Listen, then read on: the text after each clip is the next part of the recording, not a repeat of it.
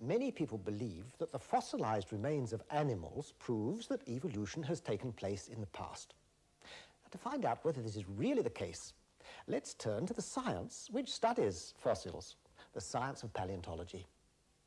Professor Roberto Fondi is a specialist in paleontology. He teaches at the Department of Earth Sciences in the University of Siena in Italy. Amongst his other activities, he acts as scientific advisor for the reconstruction of prehistoric animals. You may be surprised to know that the fundamental assumptions upon which evolutionary thinking is based are not at all confirmed by paleontology. What are those assumptions? Firstly, that living cells arose from non-living matter by spontaneous generation. This means that purely as a result of a chain of chemical reactions in a hypothetical primordial soup, a living cell was formed. Secondly, that these cells grouped themselves together into colonies to form complex multicellular structures. These structures were then supposed to transform, during the course of time, into animals and finally man. Eh, According to these assumptions, the ancestors of all living creatures, including man, can be traced back to a single cell.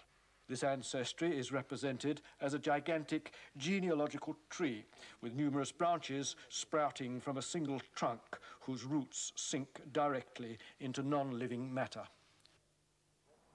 And doesn't paleontology confirm those assumptions? Non conferma affatto questa, queste assunzioni. I vari gruppi biologici... Not at all. All the biological groups, from bacteria and blue-green algae to man, appear abruptly in the fossil record without any links connecting them with each other. Why is it then that so many people believe the fossils prove evolution? Bene, eh, la teoria dell'evoluzione viene insegnata... Evolution is presented to grown-ups and taught to the very young as a fact that has been verified and demonstrated for so long that it is a waste of time and even ridiculous to question it. Bene, io nei miei due libri, eh, In my books, eh, Beyond Darwin and the Organistic Revolution, I give the names of well-known scientists who firmly believe evolution is a proven fact, such as George Gaylord Simpson and Stephen Jay Gould of Harvard University.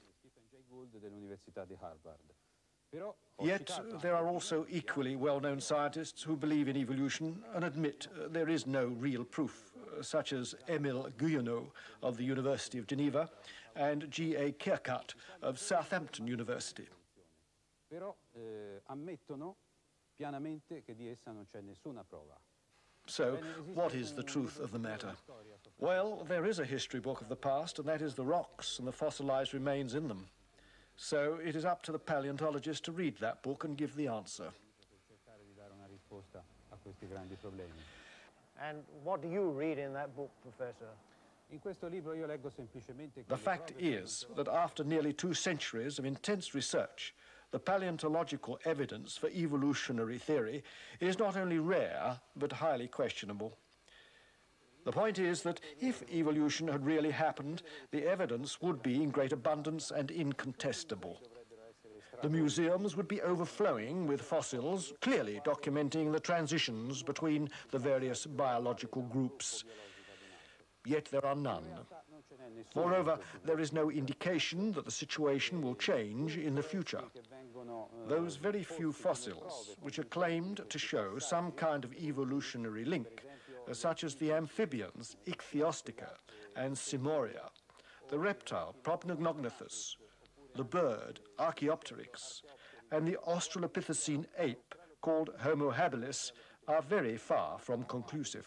sono ben lungi dall'essere convincenti. And what about the supposed evolution of man? L'idea di- dell'uomo come The idea of gradual evolution of man from such creatures as Australopithecine apes is totally without foundation and should be firmly rejected. Man is not the most recent link in a long chain of evolution. He represents a type or taxon which has existed without any substantial change since his first appearance. The justification for this statement is abundantly clear from my books. So what then, Professor, is your final conclusion? La mia conclusione è che la biologia... Quite simply, that more progress would be made in biology and other disciplines if they kept away from the dead-end roads of evolution mythology and resumed the fruitful approach of Aristotelian, Linnaean, Cuvierian and Goethean morphology.